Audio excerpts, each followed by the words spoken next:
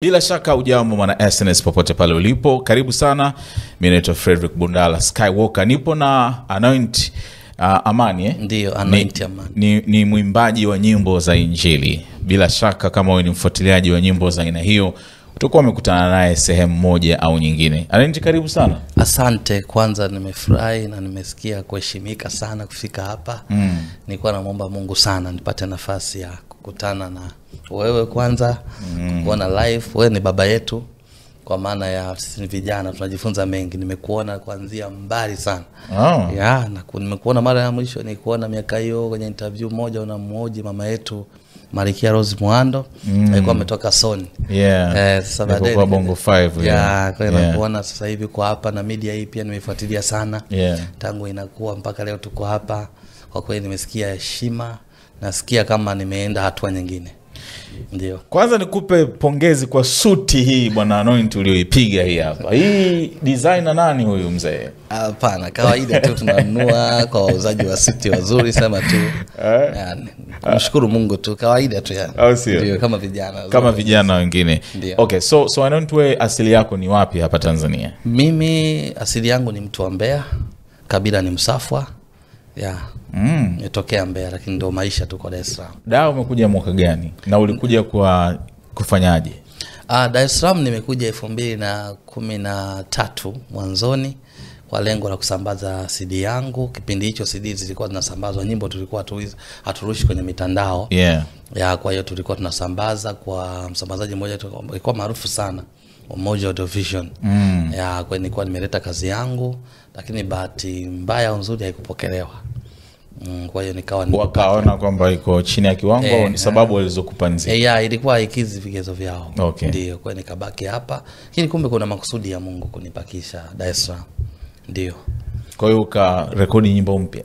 Nikarudia tena zile zile ama ukafanya tofauti kabisa Ni- nilizichambua baadhi nikarudia okay. nyingine nikaziacha mm. lakini bado hiyo hiyo ikaingia sokoni haikufanya vizuri sana ilikuwa ni albamu gani naitwa inaitwa nimeona kwa macho yangu mm-hmm. haikufanya vizuri lakini baadaye nika elfu mbili na kumi na nne nikapata mafunuo mwezi wa kumi na moja nikapata mafunuo mungu akanipa kazi. Mm. lazima unajua kuna kule kuimba sasa unaimba tu kwa sababu napenda kuimba eh, una kipaji na nini lakini lazima ile kuitwa kwamba mimi niko kwenye mziki kwa ajili ya nini?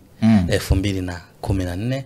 Mungu akanipa kazi na nilipata maono so ni kuanzia hapo nikatoa albamu yangu ya kwanza inaitwa yesu vuruga. Kwa hiyo mi naita albamu ya kwanza ya wito mm. elfu mbili na kumi na nne ndo nilitoa albamu yangu. Elfu mbili na kumi na tano ndo ikasambaza hii. Unaposema maono una maana gani? E, nina maana kwamba nilikuwa nime, nime, nime unajua namtumikia mungu. E, sisi watumishi tunasema unaweza kufanya kazi lakini bila mungu. Hata kama ni ya mungu mm. lakini hujaenda na mungu. Kwa hiyo mungu akanipa mission. Mimi ni nani kwenye mziki? Nimekuja kufanya nini? Natakiwa kufanya nini kwa hiyo rasmi nilioneshwa kwa, kwa ndoto lakini. Mm. so niliota ndoto kubwa sana. Nikapewa kazi mungu akanipa na wimbo mmoja unaitwa superstar. Ehe, lakini kupitia hiyo album kukawa na wimbo unaitwa Yesu Vuruga. Hizo ndo zilifanya vizuri sana, ndio iliyonitambulisha, na tangu wakati huo mpaka leo namshukuru Mungu, kila album imekuwa inafanya vizuri. Ndio. Ni, ni wimbo gani huo ambao una uh, unaupa credit unausema kwamba huu hapa ndo ulinitoa Ah, ni si, sio hauku- haukunitoa wimbo ila ilini- ilinitoa ilinitoa kusudi. Kwa sababu Mungu alinituma ali, ali, ali na kuna wimbo ambao sasa ule wimbo ndo ulibeba mm. lengo la Mungu. Kwa sababu wimbo ulikuwa kidogo kwa kipindi hicho waimbaji wa- of course gospel ilikuwa juu sana wakati huo na na na sasa hivi imeshuka Ah, no, yani kuna wakati ambao tulikuwa tukizungumzwa sisi na Bongo Flava Eh. kidogo sisi tunakuwa juu, lakini kwa sasa ukiangalia Bongo Flava kuna namna wanafanya vizuri upande wa kawaida, lakini unajua Eh, waimbaji okay. wa nyimbo za injili tuna nguvu Mm, kwa ulimwengu wetu kweli. ya, lakini kwa wakati huo hata kawaida tu mpaka mauzo mama zetu kina Rose walikuwa naongoza sasa mm. Rose mwana ameongoza, kwa hiyo naongelea hiyo Okay. ndio ya kwa hiyo namshukuru mungu huo wimbo kafanya vizuri na ulikuwa tofauti kidogo. Mm. eh, ndio maana ulifanya vizuri. Kwa tofauti sana. Kwa sababu ulikuwa naongelea mtu ambaye ameinuliwa alafu akasahau yeye ni nani akaanza kujiinua. Eh, kwa unaongelea mambo ya watu waliojiinua ile shida ya waimbaji kutuomba fedha, kukataa baadhi ya sehemu kwenda. Kwa wimbo ukaenda valio sana, kwa sababu ilikuwa ni message ambayo pengine iliendana na wakati huo, kulingana na mastaa waimbaji. Wengi kwa moto sana, alafu bado waimbaji pia ndo wameanza baadhi yao kufanya fanya hivyo vitu, ndio. Mm. Okay, ume- umezungumza uh, baadhi ya vitu hapa, waimbaji kutokubali kwenda sehemu. Hebu fafanua kidogo, kulikuwa kuna hizo Yani- yani kuna, kuna shida hiyo yeah, ambayo unajua kip, kuna kipindi ambacho waimbaji tulikuwa tunategemea mialiko.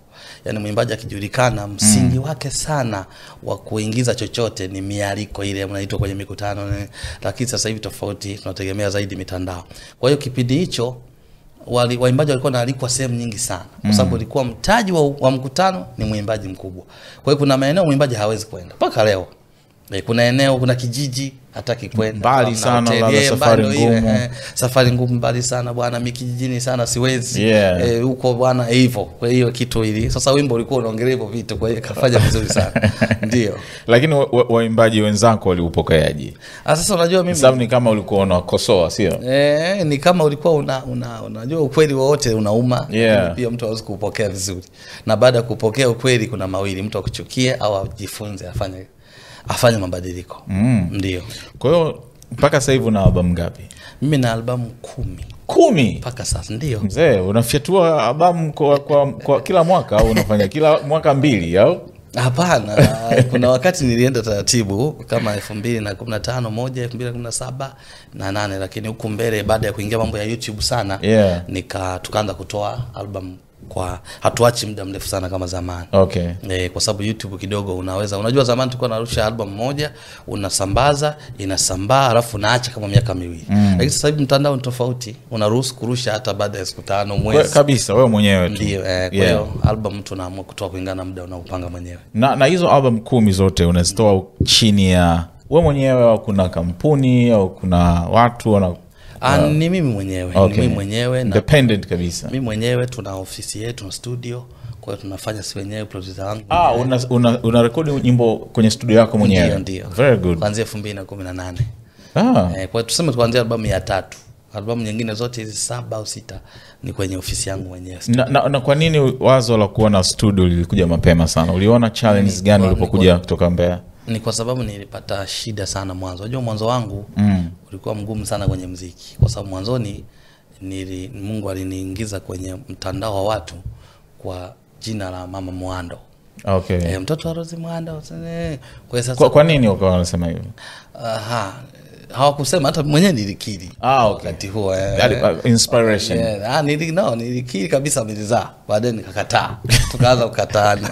Imetokea shida kubwa ah. Ilitokea shida sana hii kukataana. ilikuwaje hebu tupe story kidogo ilikuwa Eh. elfu mbili na kumi na nne Mm. kwa sababu uh, mimi kwa muda mrefu wakati na, na naanza kuimba kabla sijajua kinachoendelea nilikuwa namwona sana mama yetu Rose mwando Mm. Kwa nikawa namuona kwenye maono naona ananifundisha naona anaongea naye. Sielewi kinachoendelea. Nakumbuka nilikuwa Njombe wakati huo.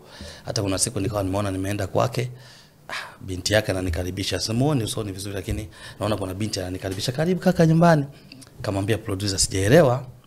Kuna kitu nimeota leo kigumu. Akaniambia umemwaza sana. Nikamwambia hapana. Alafu sio mara ya kwanza naotaota sana. Mm. akasema mm, sawa hebu tu, ngoja tu, tuone nini kitaendelea. So hiyo ni elfu mbili na kumi na mbili nafikiri mwishoni. Baadaye nikasafiri ndo nikaja da kuleta hiyo albamu yangu sasa ya kawaida hiyo ambayo nimeimba kawaida. Na nilikuwa na mfumo wangu ambao ukiuangalia anointi wa kabla anointi wa elfu mbili na kumi na tatu na anointi wa elfu mbili na kumi na nne albamu hii nyingine ambayo mungu mwenyewe amenipa kuna tofauti kubwa sana. Mm. uimbaji na kila kitu yeah. kwa hiyo baada ya, ya kufika da sasa nimekaa nimesambaza hiyo. Ndio elfu mbili na kumi na nne mwishoni mwezi wa kumi na moja ndio nikapata hayo maono sasa usiku. Nikaoneshwa. Nikaona kwanza leo nitasema tu ili angalau tuwasaidie na wengine Yeah. ambao pia hawaamini hivi vitu. Nilikuwa nimemwona mama yetu na mama yangu Rose Muhando amekaa kun- unajua kuna yale majani fulani polini Mm. majani fulani yana, ukipita yanachoma yanakuwa chetu mwiba um. De, majani alafu mbele amepaki gari yake wakati huo ilikuwa ni Prado ambaye aliimbia kwenye wimbo wa utamu wa Yesu amevaa suti yake ya blue ambaye aliimbia na aliimba kwenye utamu wa Yesu na hiyo suti amekaa mlangoni ameufungua mlango wa dereva afu amekalia anachezea maji haya kopo mm. namwona sasa nikawa niko upande wa kushoto kulia kuna mtu mrefu kidogo ana nguo nyeupe lakini mm. usoni simuoni vizuri. Yule mtu ananiambia hivi nataka nikupe kitu. Ukikifikisha hiki kitu vizuri kama navyotaka kwa watu. Akaniosha sasa mi sijui kwamba kuna mama yetu rosi ndo nainua hivi kichwa ananionyesha sasa kwa mkono nikamwona mama pale mbele. Akaniambia uta, utafika pale na kupita mara saba Mm. unaona? Akanishika mkono twende. Hiyo ni elfu mbili na kumi na nne sasa. Twende nikaanza kwenda napita kwenye hicho kichaka. Naumia mno na miba. Sana sana sana. Nachomwa mno. Okay. na, sasa wakati naenda ndo naimba hiyo vesi one ya huo wimbo. E, vesi one ya huo wimbo. Maneno ya kwanza kama matatu manne ya kwanza. Ambayo yanaimbwaje? Eh, anasema namuona shetani kwa mbali anakuja anacheka namuona shetani kwa mbali anakuja anacheka. Mm-hmm. mashitaka alobeba mkononi jamani nasikitisha. Akasema mungu naomba sikia nina malalamiko. Kwa nini mimi ulinifukuza sababu ya kujinua mbona hao uliowaita nao wanajiinua wamesahau kuwa wewe mungu jina lako ni superstar. Tena star wa miaka mingi hajatokea mwingine. Huzuni wamegeuka wamejita wao ndo masuperstar nakwambia wana kiburi superstar. Jamani superstar huko kijijini sana siwezi kuja superstar lololo superstar Superstar ndo ngoma ambayo ukaipata kwenye vision hiyo. Kwa baada ya kuamka Yeah. yeah. eh, kwanza nilistuka hata niwashtua wale wadogo zangu tulikuwa nao pale nikawaelezea kidogo wakaogopa mm. kwanza nyimbo kama hiyo unaimbaje unaanzaje? Wewe ndio unatoka. Unahitaji watu wakubwa wakusaidie. Yeah. tena unaanza kuimba kitu kama hicho. Na mimi nikaogopa nikaona "Mm, haiwezekani. Nakumbuka kipindi hicho kuna mwimbaji wa bongo flava anaitwa nasb mm. akawa ndo ameanza kufanya gospel kurekodi rekodi. Kulikuwa na mwimbaji alikuwa amenishirikisha kwamba anointi. Nasibi bwana sasa hivi ameanza rekodi watu wa gospel. Twende. Kwa nilikuwa nimetoka kwake kama juzi. Kama siku mbili zilizopita nimetoka kwa Nasbi mtu wa kwanza nikawaza kumtafuta Nasbi nimwombe ushauri nikam japo ni mtu wa bongo flava lakini naamini kuna kitu atasema. Yeah. nikampigia simu kaambia kaka samani kuna kitu nimeona hapa kigumu. Kamwelezea akasema "Ah, hiyo nyimbo ni ngumu. Ni kweli. Kwa message kama hiyo kuimba kwa wewe tena ndo unaanza kutoka. Sio nzuri kutoka kujulikana tu alafu watu wakubwa wasikupokee vizuri. So sio wote watakupokea vizuri. Lakini ndio daraja yani hiyo nyimbo ndo imebeba kuinuliwa kwako kama walivyoambiwa, ukitii ukaibeba kama ilivyo maanake usipunguze usiongeze. Kwa sababu kuandika namshukuru mungu tangu zamani nilikuwa naweza kuandika nyimbo lakini kuanzia pale ndio akanichukua akapiga beat tukarekodi wimbo ukaisha. Hata nilikaa nao ndani mwezi mzima. Mm. Eh, nilikaa nao ndani mwezi mzima. Naogopa kuimba popote naenda tunaimba kama waimbaji wadogo tumezoea tunaalikwa sehemu ntaimba mtaperform lakini hiyo nyimbo nilikuwa naogopa kuimba kwa mara ya kwanza nakumbuka niliimba tabata. Walikuwa wamealikwa waimbaji wengi sana. Kumbuka kipindi hicho kina masanja. Eh. eh, waliimba watu, wakastuka uwanja mzima. Mpaka wale waimbaji wote na watumishi wa mungu madhabahuni wakastuka wakaniita. Piga magoti. Wakaniombea. Mm. mkutano wote walistuka sana. Yeah. wakasema kwa nini? Alafu tunasikia kama test ya dada hapa. Ni sijui. Kweli. wakaniombea baada ya kuomba. So kuanzia hapo nikaanza kuimba sehemu mbalimbali namshukuru mungu ndo nikakutana na watu wakanisaidia tukaishuti. Hasa mtoto wa rozi imekujaje? Yeah. ni baada ya hiyo test sasa. E, mtoto wa Rose, ah, kwani kuna nini? Kwani kuna nini? Hasa kuna wimbo mwingine nikaimba tena wa spidi ukimbia sasa. Yeah. unaitwa yesu vuruga. Huo sasa ndo kabisa eh, sio sana lakini ile mapigo spidi ile miendo. Ah, basi sasa ilivyotoka nilikuwa na hizo nyimbo mbili tu superstar na huo mwingine wa vuruga ndo natembea nazo mara ya kwanza inapigwa ilipigwa Mbeya nakumbuka.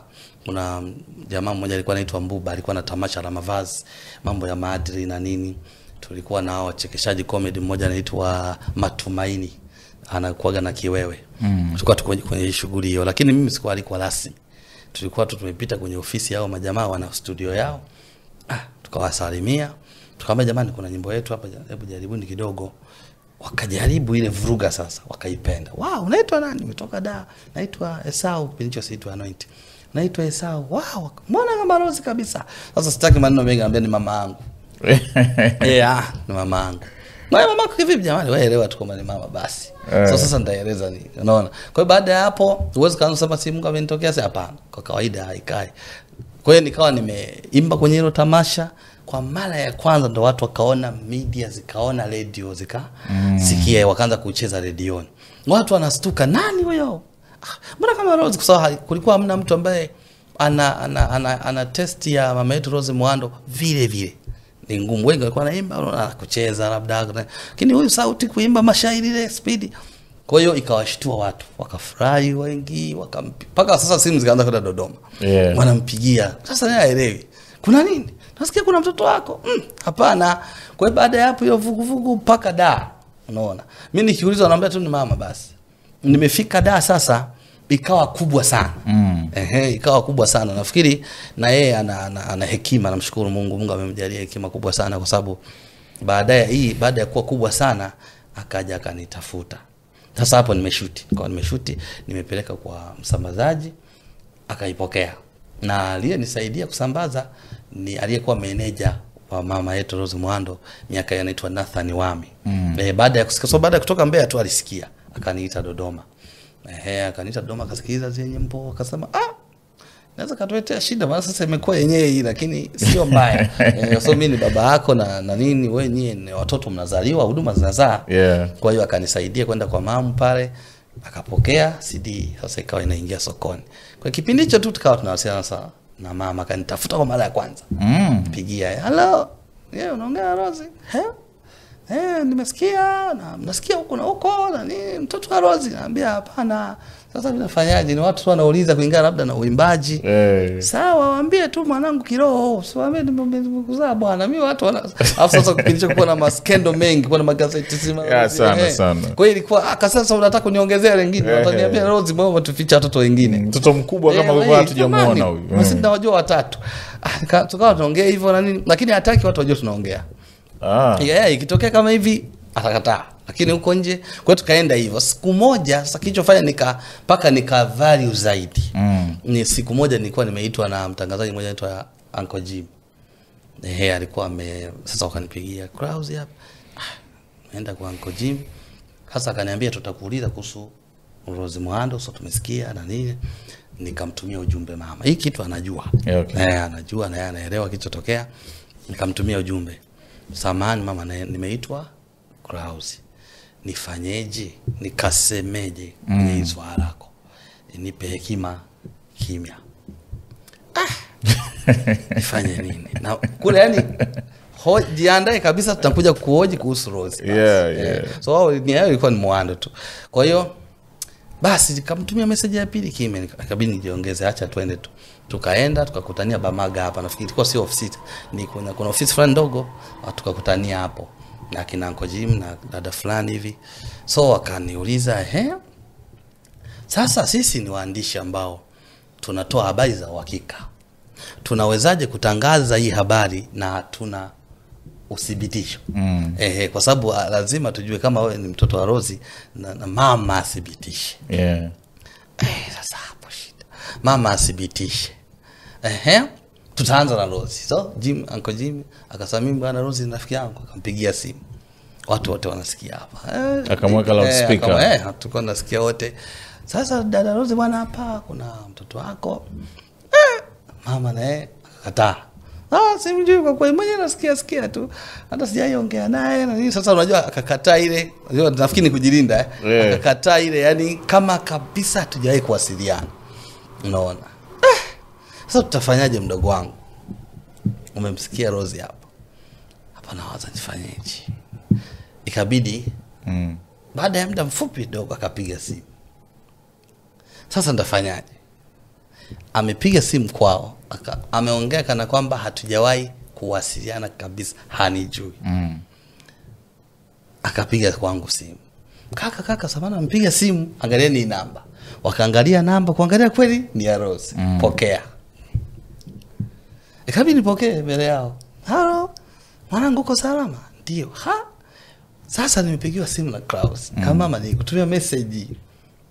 Usiwaambie nimekuzaa bwana waambie tu ni mtoto wa Kiromi hawatanielewa. Sasa ile kitu kidogo ika leta shida. Ah. kaona kwa nini mbona kama kuna kitu anakwepa Rosi? Yeah. mbona kwetu amekataa hakujui kabisa. Kumbe mnaongea. Sasa inabidi ukae hapa kuna mawili. Mm. maana yake nisipoongea hapa vizuri habari itakayotoka hapa ni Rose amekata mtoto mwingine. Mm. ambaye tulikuwa tumjui. Sasa ni wewe ukae sasa ujieleze tu. Ni mtoto kama ni mtoto wake sema. Sasa ndo ikabidi niongee. Mi ni mtoto wa Rozi nimezaliwa Morogoro. Ukadanganya. Sasa eh, nikadanganya. We nikaongea nikaongea mtoto wa Mwando wa kwanza nimezaliwa Morogoro sina nini niwe mkweli nafikiri watu leo wataelewa zaidi. Kwa sababu sijaiongea vizuri hivi kwa Okay. watu eh, wakaielewa vizuri. Lakini Okay. kuna watu walikuwa na waza. Unajua mambo yanavyoendelea kuna watu waisema Rose atakukamata. Lakini kwa nini wasijiulize Rose hajawai nishika Mm. hajawai kwa sababu kawaida Mwando kunitafuta mimi ilikuwa ni simple sana. Ningekamatwa haraka sana. Yeah. eh, na ni kweli ni kosa. Huwezi kukiri tu mama iwezekani haiwezekani. Wa, wa mtu aja ni mtu mkubwa ana jina kubwa alafu hajui. Yeah. e, maisha yangu yakoje nyuma ya pazia? Kwa sababu wakati mwingine mtu anaweza kukataa kwa sababu pengine maisha unayoishi nyuma ya pazia anaweza kumchafua labda akujue vizuri aone huyu mtu hana shida Yeah. kwa hiyo ikasumbua lakini watu waone kwamba kama alikuwa hachukui action kwa sababu tulikuwa tunaongea nyuma ya pazia na alikuwa anajua siku ile kilichotokea mm. so nilipotoka pale nikamwambia pia kwa message mama nimeongea hivi sina namna mm. kimya sasa ikaja value sana hiyo Yeah. clip ilienea mpaka leo nafikiri clip ipo hajaifuta Jimmy hiyo imeenea sana ikaanzia Kenya Yeah. Kenya ikavuma, mtoto wa Rozi, zile nyimbo zikavuma. Sasa naye mama nafikiri sasa baadaye akasahau kwamba kuna moment ilitokea pale nyuma, mpaka nimeongea kwa hiyo maswali, mtoto wako, mtoto wako, sio mtoto wangu, ndio imeenda imeenda mpaka elfu mbili na elfu mbili elfu mbili na kumi na tano imepita elfu mbili na kumi na sita na mimi nazidi kuona maono Mm. bado Mungu ananiona, kuna vitu ananionyesha, kuna kitu ananionyesha. Baadaye kuna watu wakanitafuta mm-hmm. ambao ni waonaji fulani hivi kutoka Mbeya, wakanitafuta wakanipigia simu, wakasema Mungu ametuambia kwanza, tunamtafuta Rose tuongee naye, tunatamani akuelewe na akupokee. Kwa sababu anaweza kawa amestuka au anastuka anashangaa, lakini Mungu anaandaa yeye tena baadaye. Mm. so akupokee kwa sababu lengo la Mungu ni zuri na akubali kwamba huduma huzaa. Ah, sasa nikamwambia mimi siwezi kumpata so, na nini ni ngumu kuwapata namba. Yaani nianze tu ni ngumu sasa usijali. Tutamtafuta sisi tuongee naye. Na wenyewe wakamtafuta siri kuaje wakasema tumeshindwa kuongea naye. Eh kweli. Lakini nikamwambia ni gumu kwa sababu mama zangu mnaposema kwamba mmeonyeshwa ni baada sisi tunajua kwamba mtu hutokea au huja mtu kama fulani baada labda ya kufa unaona? Inawezekanaje mtu yuko hai alafu huduma inafanya vizuri na anatikisa kama hivi mseme amekuja mtu ambaye ni, ni wewe baadaye inakuwaje? Mm. haiwezi kueleweka kitumishi. Na misingi ya dini ya dini yetu ya Kristo na Biblia haiko hivyo, kwa sababu mtu atawauliza analetwaje mtu mwingine kama mimi nikiwepo. So tunaamini katika kila mtu ana chake, unaona. Ah, wakasema tu huwezi kumwelewa Mungu kwa sasa, lakini nikamwambia tu kweli, naongea naye na nipiga, wakasema Mungu ameruhusu kwa sasa awe anaongea na wewe, kuna kitu ambacho anakupa kama ulivyokuwa unaona kwenye maono, sasa hivi naongea live. Na ni kweli nilijitahidi sana kakaangu mm. kuto kumsema mama hadharani kwamba naongea naye, hata nilikuwa nikibanwa vipi na kwa kama vile na mimi siongea naye namsikiliza, ah, simjui ile natoka nje, mpaka kuna wakati alikuwa ananipigia simu, eh, dogo, uko vizuri sana, ongea na, una moyo. Ni kweli nijitahidi, yani nijitahidi kulinda hiyo, kwa sababu nijua tu yeye ni mtu mkubwa, nikisema amekataa, mbona mimi naongea naye, Mm. sikilizeni hivyo, haitakaa vizuri. So nimejitahidi sana kuilinda hiyo ikaenda ikaenda mpaka baadaye nikaona kama inaanza kuwa shida mm. E, na ya, kwa kweli ileta shida sana, akawa kama sana amani tu kwenye media na amani mpaka na panic, nikaona hapana. Kwa hiyo namshukuru Mungu, baadaye nilikuja kujua mm. mimi ni nani, kwa sababu mwanzoni nilikuwa ni shida, lakini baadaye kizazi kinavyokuja, mnaona kumbe sisi ni watoto sasa hivi kuna kizazi kilichopita cha gospel ambacho ndo wazazi wetu hao, kuna kizazi kipya.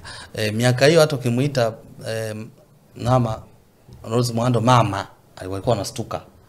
Nakumbuka niwahi kutana na Bahati Bukuku sehemu fulani, nikamuita mama, ananiambia we nimekuzaa bwana nakuaje mama yako walikuwa hawakubali yani walikuwa kama waja eh. kwa hiyo lakini sasa hivi naona namuita anakubali yani Yeah. wamekubali yeah, kwamba ni heshima, kuna kizazi tumekizaa Yeah, eh. kabisa. kwa hiyo ni kama ali- alikuwa na niliwahi mapema kwa kawa kabla hawajaona hiki kitu lakini leo nafikiri na yeye anaelewa sasa kwamba kuna ulimwengu wangu kuna kizazi changu kabisa hiki ambacho na mimi kwa wakati wangu nafanya vizuri. Mm-hmm. kwa hiyo ehe, kwa hiyo nikiimba hivi nacheza ni vurugu zote anajiona yeye kwamba da ni kweli kuna mtoto nimezaa. Ndio kwa hiyo hii ilileta shida baadaye nikaja kuacha kabisa. Nikamwambia jamani msitumie jina la Rose kwenye majina yangu acheni majina yangu mwenyewe. Kuanzia elfu mbili na kumi na tisa nafikiri kumi na nane hapo ndio likaja jina langu mwenyewe ni anoint anoint Kwa mwanzoni walikuwa nakuhitaji Na mwanzoni unaandika tu anoint man mtoto wa Rose Mwana. Ah, Kweli- okay. kweli inaandikwa. Sasa nyimbo zote zimeenda kwa nikamwambia China utashuka kama hapana. Mm. Nina kitu kama kweli Mungu ameniita hapo ndo watu watajua. Kwa sababu naamini hapo ndo wataniona mimi wataona tofauti ya Rose na Anoint. Hata kama tunafanana uimbaji lakini kuna kitu tu. Maadamu na mimi ni mtu kuna mbegu mm. ya Mungu. Eh. Kwa hiyo namshukuru Mungu na kweli sasa hivi mama anaimba nyimbo lakini na mimi naimba nyimbo kuna tofauti kisikiza mm. kwamba kuna huyu ni Anoint. Umejipata wewe Eh, eh, eh, Yeah. Kwa hiyo hata watu wanakiri kweli Mungu amekuleta kwa wakati huu. Mm. Sisi ni vijana. Kuna maneno ambayo mama zetu sasa hivi hawezi kuimba kwa sababu mm. ni umri. Yeah, yeah. Lakini mimi kama mtoto naweza kuimba wa umri wangu akanielewa. Anaweza kaimba ndio lakini wakasa ah, Rose tumeshamzoea ni mzee wa kuimba injili hivi hivi, lakini nikiimba kijana kama mimi nimevaa hivi eh, kijana nimenyoa na hizo nini mm. akiona rival anaona hey, wow hey, kwa nini? Alafu nasikia Yesu anakuja. Eh, lakini akiongea mtu mzima tumeshawazoea tumeshazoea. Yeah, eh, kwa hiyo kuna Mungu anajua kwa nini anafanya hivyo, anatuleta vijana kwa sababu ya kizazi kipya. Sasa hiyo ishu ya ya- na Rose mlimaliza kiamani, mkakutana naye, Ah, no, hatujaiona. Hamjaiona hamjawahi kuonana, hatujawahi lakini alikumind sana Ilitokea shida sana Yeah. lakini kwa kweli ukimsikiliza yeye ana shida, ana amani. Hofu yake kuna ma, ambacho kilinitesa sana mm.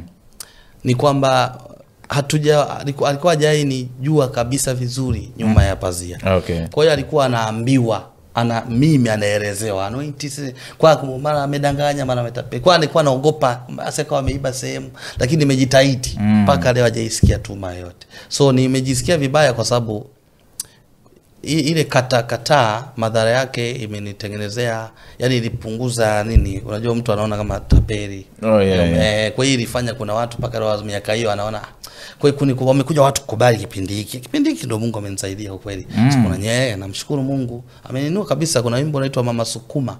E, Mama Sukuma mtoto atoke huo ndio wimbo ambao Mungu alinitambulisha sana 2019 mm. 2019 20 hapo Eh, huo ndo umenitambulisha sana hata kwenye YouTube na milioni kumi na moja nafikiri views. Wow. Eh, afu kuna mwingine Mungu akanisaidia tena wa worship unaitwa huko wanaulizana unaitwa nani?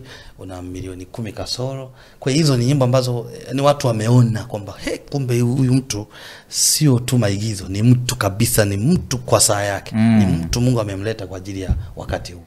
Kwa hiyo na yeye anaona, namshukuru Mungu mpaka sasa hivi anaweza kunielezea. Nimeona kiojiwa Rwanda ananielezea. Zamani ilikuwa ngumu, Ah, kwa hiyo hii story ilifika Marwanda wapi? Ilikuwa viral kiasi hicho. ukiongelea noitamani Amani anajulikana sana sana yani hata yani nje huko ndo kabisa kwa sababu ile kama ilianzia zaidi nje Yeah. kwa hiyo hata wakimuuliza vipi kuhusu Anoit alikuwa zamani hawezi kuelezea Mwanao umemwacha wapi? Sasa hivi anaelezea ni mtoto wangu wa kiroho kwa tunamshukuru Ah, okay, ameshaelewesha na Eh, yeye. ameruhusu nikaelewa Lakini bado hujakutana naye face to face. hatujawahi na watu wakitaka kuandaa tukio si tukutane ilikuwa nakataa anambia hapana Wewe ndio unakataa eh. Unaogopa, au? Ah, no si unajua mtu au unaona aibu? mtu akitaka kunikutanisha na eh, Rose Muhando mm. kwa maana ya tamasha moja, umemwita Rose, umeniita mimi mm. mimi ni kijana, yule ni mama yetu Yeah. kwangu siwe heshima hata mm. nikiongea naye niliwahi mwambia tamani simu hiyo sasa. eh, natamani nikuwakilishe natamani tumeona mmefanya vizuri mmeipeleka gospel East Africa kwa Kiswahili. Natamani kuichukua gospel East Africa niipeleke kimataifa zaidi. So natamani mimi unipongeze. Hata sitaki kufanya kazi na wewe. Mi nataka nifanye mwenyewe. Kama nyie mliweza kusimama wenyewe kwani sisi tuwe walemavu? Mm. yani tuwe paka, paka nibebwe ndo niende. Ah? na mi nifanye useme kweli dogo.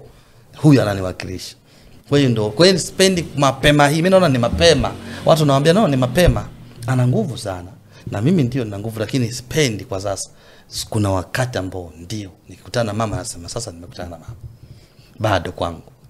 Ndio. Uh, uh, Rose Mrando naonaga comment zake nyingi sana kwenye channel yetu, sijui ni yeye au ni meneja wake I don't know, lakini vyovyote vile timu yake ni watu ambao wanafuatilia sana content zetu. ndio ndio. Ungependa kumpa ujumbe gani? nampenda sana. Mm. namshukuru sana kwa sababu amefanya kazi ambayo haiwezi kufanyika kirahisi na mwanamke lakini ameifanya. Na amefanya kitu kikubwa alifanya kazi ambazo mpaka wanaume wenyewe wanastuka unajua amefanya kazi kubwa amecheza sana kiwango ambacho hata watu tu mwanaume tu anaangalia hey, udada jamani. Kwa hiyo ametupa heshima ametupa heshima ndio maana namuita Dr. Rose Muhando. Waliochelewa kumpa jina sijui kwa nini, lakini kwangu mimi ni daktari.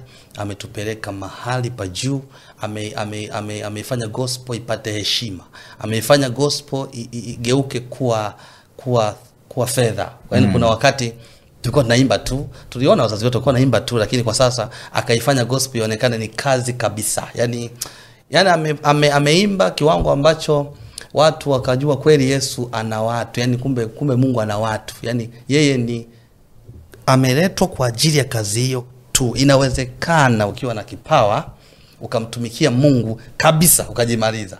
Eh, maana kuna watu pia walikuwa wanaogopa mtu akiwa na kipaji, amini kiimba gospel bwana, lakini yeye alifanya, amefanya kila yani, amecheza, ameruka, ameabudu, ameongoza, amekaribia amekaripia. Kwa hiyo amefanya mtu anaona kwa, ah, kumbe nikiingia kwenye gospel ni kiwanda kamili ambacho naweza kufanya lolote maadamu tu nisimkosee Mungu na nikafanya vizuri. Ni kwa sababu ya Rose Muhando. Mm. Kwa hiyo nampenda sana, namuombea na maadamu tupo, ipo siku atasema hakika tumezaa watoto. Ndio tunatamani atuombee tu kama watoto, watusapoti. Mama zetu akitamka neno tu, sisi tutapata watu, kwa sababu mm. wana watu ambao wanawaamini. Unajua kuna, ku, kuna kupendwa kuna kushabikiwa tu, lakini kuna kuaminiwa. mm-hmm. E, wale walishaaminiwa, sisi bado watu wanatuangalia. Mtu anaogopa akikuamini usio karibu kesho. Tuna mambo mengi, ni vijana. Kwa hiyo kwa sababu waliaminiwa, wakitamka neno na sisi tutaaminiwa, na tukiaminiwa tutafanya vizuri, kwa sababu ukiwa umeaminiwa hutaki kumwangusha aliyekuamini. mm. E, kwa hiyo mi nawapenda sana wote kina Bahati Bukuku, mama zangu wote, lakini watuombee. Kwa hiyo uh, uh, baada ya kujipata ndo ukasema ule wimbo wako unaitwaje? Uh, Oh, mama aliambiwa mama sukuma Mama Sukuma Ndio. ambao ulikwenda mbali sana. sana. U- u- Umewahi kwenda kufanya huduma Kenya wapi? Ya, ndio tunaenda Kenya eh. Kenya sana sana mm -hmm. ndio sana yani hiyo sasa Kenya nafikiri nadhani Kenya inatu imetubeba waimbaji Ni kweli. eh, Ya, sana, sana, sana, kwa kweli Kenya bila Kenya kuna namna nafikiri subscribe wangu wale asilimia sabini ni wa Kenya. Una subscribers wangapi YouTube? Eh, laki tatu kasoro laki mbili na Wengi sana. themanini na sita nafikiri. Ndio. Laki mbili na themanini na sita. Yeah. ndio. Lakini naamini laki mbili wote awali wa Kenya afu hao themanini na eh, wengine wa Tanzania wengine nchi za mbali ndio Wakenya wananipenda sana sana Yeah. ndio na mimi nimeanza kutengeneza watu wangu naona kabisa na watu wangu kabisa ambao yani huyu yuko tayari agombane na mtu kwa ajili ya anoint sio rahisi Okay. mm. na mwaka huu ni wa kumi kwangu kwa mziki Na ukiwa na album kumi ndio nasherekea miaka kumi ya mziki si mchezo. albamu Album yako latest imetoka lini? imetoka ndo inayoendelea kutoka sasa Ah, nimetoka mwaka huu, sio? Ndio, ndio. Inaitwaje? inaitwa nasikia kichefuchefu Ah, okay. Eh, lakini wimbo huo bado haujatoka official Wenyewe bado Eh, hujatoka. na wimbo upi? Nyimbo zimeruka nyingi kuna mm. wimbo sasa hivi una trend unaitwa na bife kikula chuma hicho Okay. ya na una, nafikiri umefanya vizuri sana kwenye mitandao ya tiktok Yeah, yeah, na huu sasa umekuwa kama ile nyimbo nilivyosema kwamba ilikutana na kitu upepo fulani Yeah. na hii imefanya vizuri sana baada ya kukutana na upepo wa nabii Ah, yeah, yeah, yeah, naoendelea Sasa yeah. imefanya vizuri hata youtube sasa hivi ina, ina laki saba inatafuta laki nane mm. miezi miwili Ah, see, Yes, namshukuru. mzee unapiga views sana. Ndio maana unapiga suti hizi ndugu yangu, suti za watu wenye hela hizi. Ni wenyewe bwana wanakituona wanaona anointivaa nguo. Ah, bana, so hebu tupe test kidogo ya hiyo Ah, feki eh. wewe ni nani katika nyumba ya mungu sula ni ngeni wala haufanani eti nabii baba yako ni nani umeitoa wapi njiri unayoihubiri huna adabu, huna nidhamu, kinywa kichafu, nabii tapeli, unadanganya wana wa Mungu, eti muhudumu wako kumbe ni malaya wako, kumbe huku nako huko ulevi na madawa umo umo. Kula chuma hicho kimeze hata kama cha moto. Huna adabu, huna nidhamu, kinywa kichafu, nabii feki. Kula chuma hicho, mtumishi wa Mungu muongo, kula chuma hicho. Imeenda, imeenda. ah, basi wanakula chuma hicho Wanakula sana. Wan- wanakuchukuliaje wewe watumishi kule unakoabudu wewe Ah. na meseji zako hizi hawana namna tu, kwa sababu sisi ni vijana, na kama nilivyosema, Mungu unajua siku zimeisha Eh. Eh, siku zina- zimeisha kwa mujibu wa Biblia, kwa mujibu wa mafundisho ya dini ya Kikristo mm. na wenzetu Waislamu, dalili zote zimetimia, Yesu anarudi. mm. Kwa hiyo siku za mwisho Mungu analeta watu ambao yani hasikii, yeye anasikia tu awaambie watu kweli. Tupo kwa ajili ya kuwakumbusha watu Mungu yuko na tutakwenda siku moja, hata kama kiama hakijafika, kuna kufa mm. watu wanakufa, na baada ya kufa, kwa mafundisho ya dini yetu ya Kristo, hakuna neema tena ya wokovu. Kifa imekwisha. Kwa hiyo lazima tuwakumbushe watu, kuna watumishi wa Mungu, lakini kuna watu wanatuharibia dini Yeah. mm, wanaharibu maana ya utumishi wa Mungu. Kwa hiyo nafikiri Mungu amenisaidia akanitumia kusema nao, na watu wamebadilika baadhi. mm -hmm. Ndio hiyo nasikia Chef Chef, ambao ndo jina unaobeba album yenyewe ni inatoka lini sasa Uh, itatoka nahisi na yenyewe itakuwa ina, ina jambo ya ina jambo kwa sababu Eh? ina mapigo yenyewe nimepiga kama sebene tu Ah, okay. eh, lakini ina, ina nimeongelea maisha ya watu mm. unaamini watu unakusanya wa, ukitaka kufurahi unaamini katika kukusanya watu kumbe wanakuzunguka kumbe yani mtu unamwambia yani unafiki Yeah, unafiki eh, kwa hiyo mtu bora ajitafu unajua tuliwahi ambiwa na mtu mmoja kwamba ukitaka kufurahisha lazima ufurahie. Yeah. e, furahia kwanza utafurahisha. Sasa sisi tunatafuta kufurahishwa na hatujafurahia. Mm. ni ngumu sana. Kwa hiyo wimbo unaelezea zaidi mtu kuji, kuji, kujiachia asibebe mambo achia. Ukiachia mambo kuna mambo, mambo kuna mambo mungu atakupa kuna vitu ambavyo mungu hawakupi kwa sababu umejifunga umejibana Mm. kwa hiyo hata ukicheka vipi hata ukienda uwanjani kwenye mpira ucheke lakini kama una shida bado huwezi kuwa kufurahia lazima uwe vizuri toa watu ndani, usibebe watu, usibebe watu, usiwe na kinyongo. E, ni kweli watu wanatuumiza, lakini toa hivyo vitu ndani. Ndio nasikia kichefuchefu, nasikia kutapika, yale yote niliyobeba moyoni ya mm-hmm. Ndio. Kwa hiyo inaonekana una rekodi sana kwa sababu studio iko nyumbani Yeah, studio yako mwenyewe.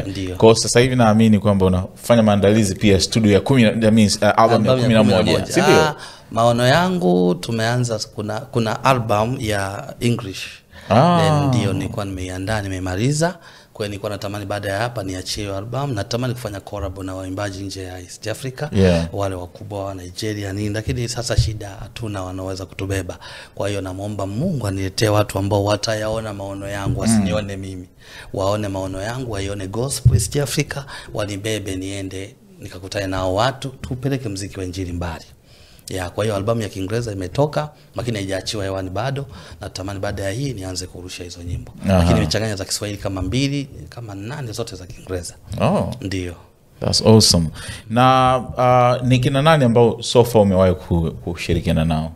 Uh, tangu naanza mara nyingi sija nimefanya kolabo chache Chache. eh. Wewe ni jeshi la mtu mmoja, yani kumi zote eh, umesimama mwenyewe, na hizo views zote sio kwa sababu ulimshirikisha nani, it's your own uh, power. wapo lakini sio Sio eh, hata ukiangalia views unaona hamna. Na hata hizo nyimbo ambazo zimefanya vizuri zaidi ni zile ambazo umesimama mwenyewe. Kwa hiyo wewe mwenyewe unajimudu vizuri. Namshukuru Mungu na watu wamenishirikisha zaidi mimi. Ah, Eh, nimeshirikishwa sana mwaka huu wa Kenya sana wengi Kenya na nje ya Afrika pia. Okay. So unajua kuna Waswahili pia wako huko Yeah, lakini sure. pia Watanzania. Namshukuru Mungu nimetengeneza na mimi sehemu yangu, watu pia wameona mbegu, wananiamini sasa mm -hmm. kwamba nikiimba na anoint pia kuna watu wanapiga. that's awesome. Ndio. Sawa, sasa Anoin, tuongee kuhusiana na cha, changamoto ambayo imekutokea. Ulinitumia video ndiyo, ndiyo. ambayo ulirekodi tukio la Ndiyo. baya kabisa Ndiyo. ambalo unasema kwamba ni huyu binti huyu, tutakuwekea hiyo video, lakini hii video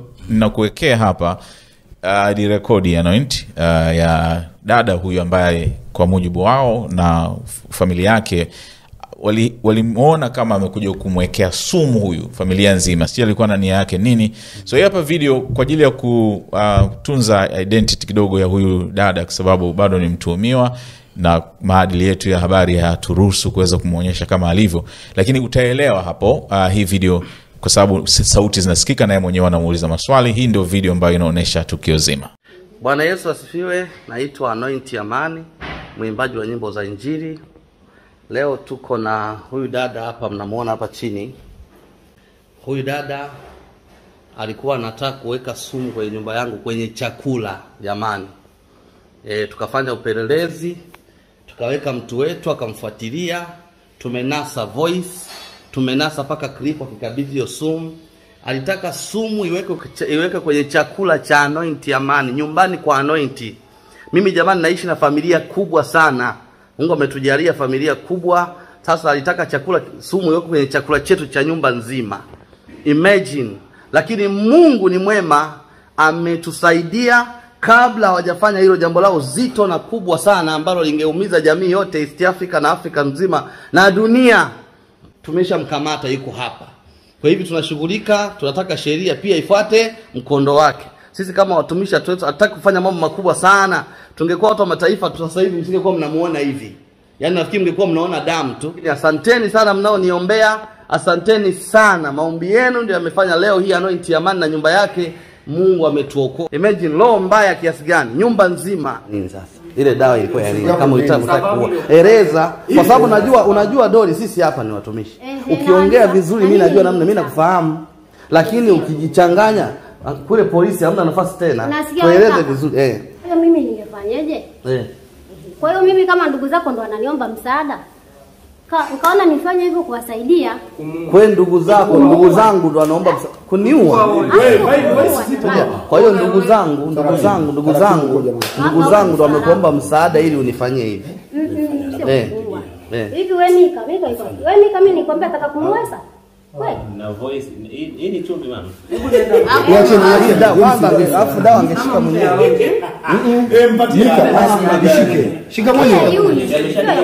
Hiyo. Ni ya nini? sasa hii ya nini? Wewe mimi nimekubeba mama. Hii dawa ni ya nini sasa? hii dawa ya nini? Kwani wewe ume- nakwambia iko jibu swali hapo na jibu mbele ya Hii dawa ni ya nini? Kama we wewe manake wamekutuma uje niue sasa. Kwani nini ulete dawa mndani ndani sasa? dawa yoyote hata kama ikiwa huyu. Eh, kienyeji ni dawa. Ni dawa. wewe unaweza ukalamba?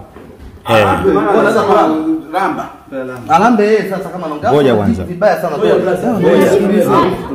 wewe unaweza ukalamba Anakosea. Eh, arambe. unaweza ukalamba sasa kwa nini fulani? Sasa kwa nini usilame? Sisi tumekuja kuchukua twende polisi. Sawa? Ukifika pale polisi wao watakupa ulambe. Eh.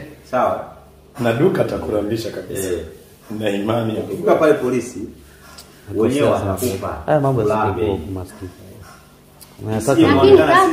Ah, sio lakini. Umesema sio dawa yoyote hiyo ya mganga wa kienyeji Iwe ya hospitali. ya hospitali au sio bwana? Ukichanganya tu vibaya tayari. Ukitibiwa unapona mm. sumu yoyote ukichukua ya mamba ya nini ya nini. Mimi mwenyewe nimeshika hapa lakini kitoka hapa sitaki kulamba hii mikono. Nataka Yes. na sabuni Ndio. Kwa sababu wewe sijui hii umenunua alipokuwa wewe maisha magumu yalivyokuwa haya unaenda kutafutia kwenda jela miaka mingi. Kweli. eh, na utoki eh unaweka hii hii ni sumu serikali haiwezi kujua Hapo alivyosema hii amenuia uongo hii vitu tunavielewa huyu Bwana amekuja nimembeba mimi. Tumemrekodi maelezo yake tunayo. mbavu zangu Niko kwenye uskani. Yaani Mungu ame vaa viatu Ngoja anakuja. CH Duty Track wanasambaza magari bora yaliyoundwa na Maafrika kwa ajili ya Afrika kutoka China. Wanatengeneza malori yanayokidhi mahitaji yako maalumu. CH Duty Track, ubora unaoaminika kwa bara la Afrika. Wasiliana nao sasa. Hebu tueleze huu mkasa huu Ndio. ni nini hiki kimetokea ni, ni, ni, ni kweli mnavyohisi ndivyo alivyokuwa anataka kufanya Ah, hatuhisi ni kweli kwa sababu tayari amekamatwa yeah. na hata amehojiwa na polisi amekiri, Ah, lakini same. anakwepa tu kwamba ni sumu. Huyu dada nimefahamiana naye tangu elfu mbili na kumi na sita nilikutana naye Mwanza kama shabiki kama shabiki tu alikuja pale baada ya kuimba akashuka. Nimeshuka tu amekuja kaka napenda kazi yako.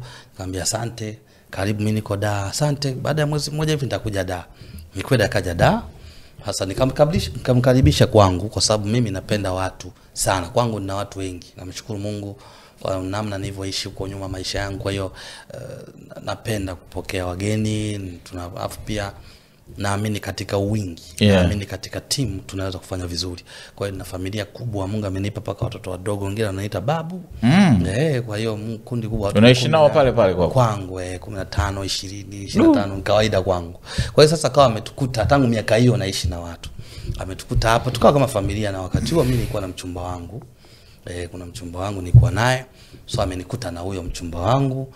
Lakini baadaye akaanza kunitumia meseji za kunihitaji. Okay. e, nakupenda kaka na nini? Kaambia hapana so na nina mchumba ya kwa nini? Ah mi nakupenda. Eh, we haiwezekani ntafanya chochote. Kwa hiyo ah, mimi nikazani unajua ni, ni dada ambaye kwa kweli kwa kawaida Mungu anisamee nikimwangalia nikaona hayuko serious hayuko serious. Sidhani kama eh. Hamwezi kumbe- endana. eh kumbe na, na, nafuga jambo ambalo baadaye itakuja kuniletea shida. Kwa hiyo nikawa napuuzia. Nasikia ameenda kwa wachungaji. Mm. Eh, ameenda kwa wachungaji anakuombea, amefunga. Kuna kota alifunga sijui siku ngapi. ili umkubali Eh, hey, jamani tuko yani ni familia nzima mpaka tunashangaa. Tunachukulia kama anaishi unaishi naye hapo hapo Ah, no, alikuwa anaishi kwake, Ah, alikaa ah, kwangu. ah. Alikuwa tu anakuja anatembea, analeta vyakula, ataleta mchele. Sasa kama mtaki anaacha mlangoni. Watu wanacheka na tutaacha chakula tunakula. Kwa hiyo kidogo ikaenda sasa Yeah, yeah. kwa sababu watu hawamjui mamangu mm. wanamjua Rozi Mhando tu kwa mtoto wa Rozi, hawajai mjua mama yangu. So akawa akiwa pale hajui afanyeje, akawa kumbe moyoni mwake ameadhimia. Biblia anasema akaazimia moyoni mwake. Mtu ana, anaanza kufanya jambo moyoni kwanza, mm. afu nje inakuwa ni matokeo. Kwa hiyo akawa amechukia mwanamke yoyote kuwa karibu yangu ah, ya, akimwona tu Akaanza. Sasa mimi si- wakati huo akuwa amejionyesha kwa sababu alikuwa na nguvu sana wale yeah.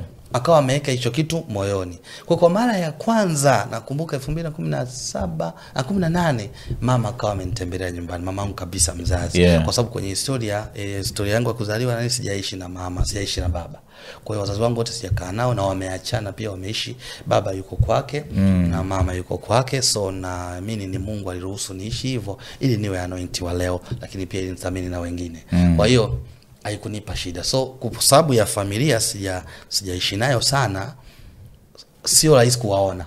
Kwa hiyo maana yake mimi nilikuwa naenda Mbeya na kutana nao tu narudi nitafanya jambo. Wakati huo tuna majina tu hatuna pesa. Ehe hatuna pesa. Kwa hiyo ni shida shida. Akaja mama kwa mara ya kwanza. Mama yangu mimi ni wale wamama ambao ni wa ni, ni familia zetu za kimaskini. Yeah. ehe kwa hiyo huyo binti naye ni wa hali ya kawaida tu eh, mara atauza mboga atafanya hivyo. Uswahili kama mswahili fulani. Sasa alivyokutana mama tu akafurahi kwamba yes akawa karibu sana na mama. Mm. si achojui kumbe sasa muda wote akiwa karibu na mama anapanda mbegu tofauti. Ana anambadilishia mama picha yote ya watu tunao- tunaoishi nao pale. Anaweka ubaya. Kila mtu niye naye mpaka mwanamke nilikuwa naye. Mm. kwe mama naye aka hawakutuonesha kwa wakati huo vizuri. Kumbe ameshaanza mama Kwa mama ka, kwanza kampenda tukashangaa mbona wamependana? Yani muda wote akawa kama mpata mtu ambaye anamuelewa. Naye mama sajua mswahili mama zetu wa- Yeah. anafurahi. Mm. tukaona tukaona ni kawaida pengine ah unajua sasa sisi wadaa utakuwa busy mtafanya ah si hatujui baada ya kama wiki mbili vitatu tatu akapotea. Elfu mbili na kumi na nane hapo akapotea hayupo mbona tumuone siku hizi. Kumbe amesafiri. Mm. ameenda mkoani kwetu kwa wazazi. Amejitambulisha yeye ndo mchumba wangu. Amepokelewa na familia. Ndio wakampokea wakaanza kuzunguka naye kwenye familia. Mchumba anointi huyu eh, hapa anatambulishwa kwa shangazi Eme, kwa Eh, nani mimi sijui. Eh. akaenda akapita kwa ndugu akaanza kufanya naye vibarua. Mama zetu sasa akamwekea sora. Eh. mama akafurahi. Lakini Mkwe wala hawajui yeye mkwe. Miezi sita imepita. Baadaye mi nakuja kujua ni- nikajisikia vibaya kwamba wazazi wangu mm. mnawezaje kupokea mtu hamjui ametoka wapi. Yeah. ndio mama alimuona lakini kwa, kwa nini mtu ajitambulishe mchumba? Mm. bila mimi kwa so kawaida mimi mchumba ningemleta hamna haja yenyewe kumpokea mchumba wangu peke yake. Mm. lazima mi ningemleta kwenu. Unaona lakini mama pia unamjua niliye naye. Yeah. kwa hiyo ikawa shida kidogo lakini ni mzazi utafanyaje? Ikabidi hiyo niipotezee. Kumbe wakaendeleza hiyo kitu. Kwa imeendelea ameendelea kuna wakati wakaja da akaja yeye na mama yangu akafanya vurugu sana pale mama nielewi nasikia paka tunataka tutafute waandishi wa habari ah. e, tu nikamwambia mama huyu binti anataka kuharibia mwanao Yeah. kwa sababu mimi huku nina picha tofauti ni mtumishi hivi vitu hivi ananipenda yani akakaa karibu na wadogo zangu amechukua kila mtu tofauti tu ni hii familia yangu ambayo sasa haijazoeana na yeah. familia nyumbani yeah. kwa ikawa ni ngumu kuipata kwa hiyo akaona yes nimempata mama nitampata ilikuwa vurugu kubwa mpaka ikabidi nimpeleke polisi mm. eh, tukapelekana polisi kaambia jamani mi sitaki polisi nimfunge nataka tu tuandikishane kama hata isumbua tena familia yangu mm. naomba akaomba pale naomba mimi nitakuacha sitakufuatilia tena lakini naomba tu uh, niachie mama yako kwa sababu mama tumeshakuwa karibu afu namlipia sora na, eh, hata hata askari wakasema bwana yani huyo binti anasema yeye hivyo akawa anaomba mimi usivunje urafiki na mama yako. na matusi na yeye lakini akasema mimi tayari niko karibu na mama. Eh. kwa hiyo ah, kama kama, kama kaka tu haina shida endelea ndo tunaharibu. Yeah. kwa hiyo hata wale waaskari wakasema haina shida mwache kwa sababu sasa huwezi kumwacha hakuna kinachoharibika. Eh, hakuna tukamwacha. Ehe. baada ya kumwacha akapotea elfu mbili na kumi na tisa elfu mbili na ishirini elfu mbili na ishirini na mbili na tatu. Mm, elfu mbili na ishirini na tatu na nne. Tunashangaa mwaka huu. Ah, tumetulia. Sasa unajua kati ya kati ya watu ambao nimefanya nao kazi muda mrefu kuna mm, mabinti ambao pia kwenye mm. tunao. Yeah. kuna mwingine ana miaka kumi na moja na mimi miaka mingi. Sasa Yeah. Au wanawake alikuwa akiwaona anaona hawa ndo waliozuia kwa kuna watu ambao kwake yeye anaona huyu akitoka. Mm. Naweza kumpata anoint. sasa amepotea tukashangaa tu eh? kuna message eh? um, kuna mmoja wetu uko naye pale ofisini anapokea message anaitwa kilindi Mm. message za matusi message za yani wewe toka hapo ndani bila kutoka hapo ndani Zini maneno magumu sana ah. tukasema lakini mbona kama mwandiko huu ni wa mtu nayemfahamu au itakuwa sa tukaona hapana Ah, kwa hiyo yeye alituma tu kama mtu hamjui ni nani hajajitambulisha Eh, eh, kwa nani. sababu miaka imeshapita, tu. eh, kwa sababu tume- hatuwe- hatuwezi hata fikiria kama yupo. Yeah, kweli. Ah, miaka mitatu hiyo mingi. ah, mitano. Mitano. Elfu mbili kumi na tisa ah, kumi na nane mwishoni mpaka mwaka huu. Miaka sita miaka mingi sana kwa hiyo tulikuwa hata tumeisha sahau. Kwa hiyo ah, ikabidi tukaichukulia poa tukaacha. Baadaye tukaona ameanza kutuma mpaka kwa mama yake huyo binti ambaye tuko naye. Ah, akatuma kwa mama yake sasa? Hatujui sasa Yeah. tuma kwa mama yake message ah, so akasema jamani hii imekuwa serious mm. hizi message pia zinaenda kwa mama mtoe mwanao pale si yani kwa sababu huyo ameshamtambua hapo. kwa nini kwa sababu huyo mwingine yeah. ambaye sasa ni kwa naye kipindi kile ametoka yeye Yeah. yeah, amepata pia na, na maisha yake na nini kwa hiyo aliyebaki ni huyu ambaye yeye ye sio mtu wako wala ah, sasa hiyo sasa okay. nitakuja kuelezea siku nyingine Aha, sawa. Sasa eh, tukashangaa ikabidi tuweke mpelelezi sasa mm. e, tukaona mdogo wangu yuko hapo ndani pia alikuwa ana- ana- amewasiliana naye kabla akasema jamani mimi najua mtu anaweza kutuma message mkapiga simu haipatikani anaweza kubadilisha namba nyingi ni wakala na mimi nimewahi kuwa wakala. Mm. mtu ambaye amewahi kuwa wakala karibu yetu ni fulani ndo tasoyo binti doli sasa. Mm, kweli nikasema hebu fuatilia. Unakumbuka na namba yake? Ndio. Hebu ngoja nijifanye kama na mimi kuna shida imetokea hapa ndani. Tajua tu kinachoendelea. Wakati huo kuna mama yetu unajua kwenye familia hizi kuna mama yetu mdogo aliwahi kuja pale ndani tukakaa naye lakini kuna shida kidogo kwa akatoka akawa amepanga jirani tu hapo. Tukawa tazama labda ni yule mama yetu kwa sababu tumekaa naye pale kidogo akatoka tukaona hapana. Akaenda kwa yule mama mdogo. Akaongea na mama mdogo akasema hapana ila dodi yupo. Ha? dodi amerudi. Sasa akajifanya kama vile mimi nimemkosea. Kwa akaenda akasema amenikosea. Na yule dada Kilindi pia amenikosea. Eh, sasa ukienda kama vile umetuchukia mm. wala watafunguka. Eh, akafunguka. Akampa mpaka namba hiyo binti. Akampigia. Sasa tuna mpango bora umetokea tulikuwa na mpango. Sisi kumbuka sisi lengo letu ni meseji Yeah. nana anatuma message. Bora zingeishia kwetu kama zinaenda kwa wazazi kule wazazi hawajui kitu wanastuka kuna maneno sisi kama vijana wa mjini tumezoea ah, unavumilia tu. Lakini wazazi hawajazoea. Eh, mchawi sini maneno magumu sana lakini Yeah. tukaacha. Lakini mm, hapana hii ya wazazi lazima tuidhibiti. Kumbe kuna mpango mungu ameruhusu hii ili tujue kinachoendelea nyuma ya pazia. Yule mama akasema bwana hebu ngoja niongee na Dolu sikia hapa. Sasa ndo voice tunayo kuna voice tulikuwa tumerekodi anamwambia sasa bana tulikuwa na mpango tutume mtu aweke sumu kwenye chakula cha hapo ndani. Mm. eh, eh, tumemtafuta kijana wa kwanza amelipwa elfu sitini ah, ili alipwe amekataa elfu sitini. Anataka laki moja. Hicho ndo kinatutesa na sumu ilikuwa iwekwe leo. Yani siku anaenda kuongea leo tungeweka sumu. Shida ni kwamba sasa hivi tunaambiwa mamdogo ametoka humo ndani. Mm. kwa hiyo hatuna mtu ambaye anayetoka hapo ndani ambaye anaweza kusaidia hii kazi Ah, akaja akanipa taarifa. Kijana kwa sababu alistuka kwa kweli kwa sababu tulijua ni message kumbe kuna mambo makubwa yanakuja zaidi mm. ambayo ni magumu. Kwa hiyo hey, ikamshtua. Nikaambia endelea. Endelea mpaka tupate ushahidi mzuri zaidi kwanza kwa clip alafu kwa sauti ambayo ataongea vizuri kabisa akili mwenyewe. Akampigia akamwambia nataka nikupe. Nimekupata hapa kuvuta muda naomba kesho tuonane ndio ile jana nafikiri si jana juzi ilikuwa jana ilikuwa jana nakumbuka. Aka akabidi wakutane mloganzira tukatuma na watu wa kushuti. Kwa kukawa na watu wanamshuti yeye hajui. Mm. akarudia maelezo akamkabidhi hiyo dawa. Baada ya kumkabidhi hiyo dawa tukamshika. Mm. kwa akaletwa nyumbani. Sasa ile klipu tuko nyumbani sasa tayari tuna ushahidi wote. Ikabidi tumchukue tumpeleke polisi ndo wakamwacha hapo. So ni kesi ngumu kwa sababu amekiri. Yeah. amekiri kwamba ni dawa na mimi nilitumwa nilitakiwa niweke hapo ndani lakini sio ya kufa tu ila ni- wakasema lakini kisheria ni dawa kwa sababu ni dawa lengo lako ni nini? Mm. amna tu kwa kweli ni hasira tu.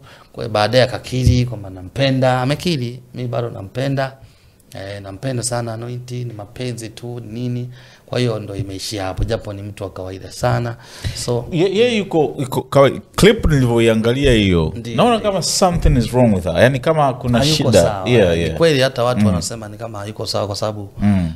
eh, mi naona kama ni mungu mwenyewe kwa sababu bila kuruhusu hiyo tunge tungefanyiwa kitu kibaya mungu yeah. ameruhusu ajisahau kwamba huyu ni mdogo wangu ajisahau kwamba naongea na mdogo wangu anayempa sumu ni mdogo wangu. Ndio maana ukiangalia hata kwa akili ya kawaida haiwezekani. Mtu nampa mdogo wa, mdogo wa mtu akaweke sumu kwenye nyumba sio rahisi. Kwa hiyo Yeah. hiyo ni mungu mwenyewe ameruhusu hiyo. Na amekiri so ametubu lakini sasa tunaangalia namna kwa sababu mtu ambaye ingekuwa ni mambo mengine kama watumishi tungesema tunamaliza. Mm. lakini kwa sababu ni ishu ya mambo ya kuua na mambo ya dawa na nini serikali imekuwa kidogo serious. Yeah. eh, kwa hiyo jambo linaendelea. Namshukuru mungu pia serikali imenisaidia sana. Okay. ndio sasa hii ni tatizo li- liko mbele yako na Ndiyo. mapenzi ndio anamfanya afanye hivyo. Unalimalizaje? Una maanake ukiangalia tangu mkutane elfu mbili na kumi na sita mpaka leo na kadri miaka inavyokwenda anazidi kuku, kupenda bwana anointi bwana. Unamkwepaje Una- huyu? Eh? Uh, mi nadhani inabidi akubali tu kwamba kama sio riziki yako sio yako na nimemwambia pia hata polisi pia wameongea naye mm. na kama amefikia unajua mapenzi sio kuua e, mapenzi sio kuua anayekupenda hawezi kukuua mm. tumeona watu hawapendi wakaua wanapenda wanajiua Eh, kwa hiyo tunakasirika bwana, kwani mnajiua sasa? Hii ya- hii ya kwake sasa ni mbaya. Kama alifikia hatua ya kuua, sasa hayo sio mapenzi, ni kitu kingine kimeingia ndani yake. Kwa hiyo mm. amekuwa hatari tena Yeah. E, kwa hiyo si salama. Mi nadhani hata sio mapenzi, ni shetani tu alitaka kuharibu, kwa sababu mi na, na mambo ya tamasha, yeye naandaa tamasha langu na nini, tunashangaa he ndio yametokea ya mambo. Of course namshukuru Mungu ni mapema, kwa sababu ingetokea kule mwishoni, pengine ingeharibu kabisa hata shughuli yangu. Yeah. Ndio so mama yako umemwambia kuhusiana na hii taarifa anasemaje mama amestuka kwa sababu mama alikuwa anaendelea kuwasiliana naye mpaka wakati huu Yeah, so Anamlipia sola kama kawaida. Hapana, sasa hivi unajua sasa nimeingilia, nimemjengea mama. Oh, nice. Eh, namshukuru Mungu nimejenga kwa mama, nikajenga kwa baba. Mm. Ya, kwa hiyo angalau unajua nimegundua pia kuna wakati wazazi wetu wanapokea mtu yote asiyemjua kwa sababu ya uchumi. Kweli. Eh, akiona tu vi mia mbili anapokea. Kwa hiyo tukaidhibiti hiyo hali. Mm -hmm. Eh, kwa hiyo sasa hivi mama yangu sasa ni ile tu ananiambia mwanangu nimekosea tu kuendelea kuongea naye. Yeah. Nilikuwa naongea naye akija kwangu kwa hiyo nimekosea ninaendelea kumpokea na nyie mlikuwa mjui mm. kwa hiyo amepata ujasiri huo kwa sababu anaongea na mimi na bado akija huku nani kwa hiyo nikamwambia ndo hivyo so naye mama pia amejifunza kitu kubwa sana ameogopa okay. Wow. okay so, mimi mi- mi navyokuwa naongea na watu wasisahau baadhi ya points nazishikilia vizuri umesema kuna binti tulimuulizia hapa Yeah. ambaye uh, huyu dada alikuwa anamwonea wivu hampendi yeye yeah, yeye vipi? Ulisema kuna ni stori nyingine. Hebu yeah, tueleze histori ni ipi? Ndio uko naye sasa ndio mrs anoint au ni nani huyu hebu tuambie bwana. Uh, sio muda mrefu nataka nije nitangaze kuhusu familia na nini so ni, sikuta, kwa sababu yaya ya mambo ilikuwa eh, sitaki kupublish Okay. nita, lakini nita- nitasema tu sio muda. So namaliza tamasha langu likiisha. Eh, Ah, hiyo itakuwa ni habari ya siku Eh, nyingine. eh. haina shida. Umekuwa ukilitaja tamasha lako. Ni lini hili? Na inaonekana ni tamasha ambalo umejipanga sana. Ndio na Yeah. ni- uh, of course hata kama sina watu wa kunisaidia kubeba sana lakini nikasema mungu kukushukuru hakuhitaji ukubwa kukushukuru kunahitaji tu shukurani moyo wa utayari moyo wa kumimina moyo mbele za mungu kumwambia Yeah. mungu asante na miaka hairudii. E, ni miaka kumi sasa mungu amenisaidia nimepitia shida sana.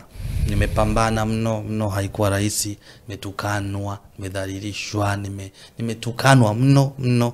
Nimekataliwa mno na watu. E, lakini namshukuru mungu. Kwanza amenitoa chini amba ameniinua kwa sehemu ambayo kweli hata mtu anaona kweli huyu mtu sio kawaida ni wa mungu. Namshukuru mungu amenitoa kuwa kwenye kwenye yule kuwa kwenye mtu kuamini kuwa ni kiki ana labda anajitafuta mpaka mm. kuwa huyu ni mtumishi wa mungu. Hakika huyu ametumwa na mungu. Sio rahisi. Ni miaka kumi ambayo ilikuwa ni ya mateso shida lakini namshukuru mungu nimemaliza. Sina uwezo lakini nikaona hapana hauwezi ukasherekea miaka kumi na moja ya huduma. Yeah. tunasherekea miaka kumi ya huduma. So ni mwaka huu mwezi wa kumi na mbili tarehe kumi na mbili ndo tunaiandaa hilo tamasha. Ah, na unaifanyia wapi? Tunaifanyia kigamboni. Mm-hmm. tumetaka tufanye iwe vip tu tamasha. Okay. e, sio ile ya watu wote tutaiandaa vizuri kwa sababu ya nguvu. Lakini tukasema hebu tuandae watu wachache kwanza ambao wataingia hapo tutashukuru mungu tuabudu pamoja mm. ndio Sasa so ndo hivyo bila shaka waambie uh, kurasa zako za mitandao ya kijamii ili wafuatilie asante asante updates za kikubwa kinachokuja asante youtube mm. naitwa anoint amani eh, tiktok naitwa anoint amani instagram naitwa anoint amani na facebook anoint amani mm-hmm. ndio namba zetu ziko huko pia tuna ndio utaona mata, matangazo ya tamasha. Yeah. Ndo tumeanza tunaamini pia mungu akijalia tutakuwa na kaka yetu. Sky tutafurahi sana inshallah inshallah. tu mungu abariki ili tuweze kuhudhuria au sio? ndio tutafurahi sana. Nikuone um, kijana wa mhando ukipiga mambo pale. Mtoto mhando Eh, wakihuduma lakini naona watu. Well so imekuwa interesting sana. Bila shaka nao pia umeenjoy. Of course katikati hapa ilikuwa ni hiyo ishu ya huyu dada huyu ambaye alitaka kumdhuru mm. kwa sababu ya mapenzi. Lakini ndo hivyo mungu amemwepushia mbali. Sasa unatuacha na nini bwana? Uh, kionjo gani sasa? na kama kuna mtu kiboko duniani ni mama. Kama kuna mrembo duniani jamani ni mama. Usimwone ni mnene ni mwepesi sana mama. Usimwone ni mwembamba ana nguvu sana mama. Usimwone ni mfupi ni mrefu sana kimawazo Mama, mama, mama ni kipenzi cha Mungu. Aliambiwa mama sukuma, akazaliwa Nyerere. Sukuma mama, sukuma, akazaliwa ehe, Kanumba. Wewe na mimi sukuma mama sukuma, akazaliwa Sky. Aliambiwa mama sukuma, nikazaliwa anoint mie. wewe wewe wewe hujawahi kuma- hujawahi kuna mtoto bado.